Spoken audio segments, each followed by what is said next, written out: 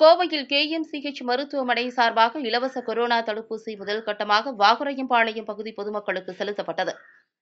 தமிழகத்தில் அரசு சார்பில் கொரோனா வைரசுக்கான தடுப்பூசி இலவசமாக போடப்பட்டு வருகிறது. ஆனால் தனியார் மருத்துவமனைகளில் கொரோனா தடுப்பூசிக்கு ஒரு டோஸுக்கு கணிசமான தொகையை மருத்துவமனை நிர்வாகம் பெற்றுக்கொண்டு ஊசி போடுகிறது. இந்நிலையில் நிறுவனங்களுக்கான சிஎஸ்ஆர் நிதியை கொண்டு தமிழகத்தில் தனியார் மருத்துவமனைகளில் இலவச தடுப்பூசி செலுத்தும் திட்டம் அண்மையில் தமிழக அரசால் துவங்கப்பட்டது.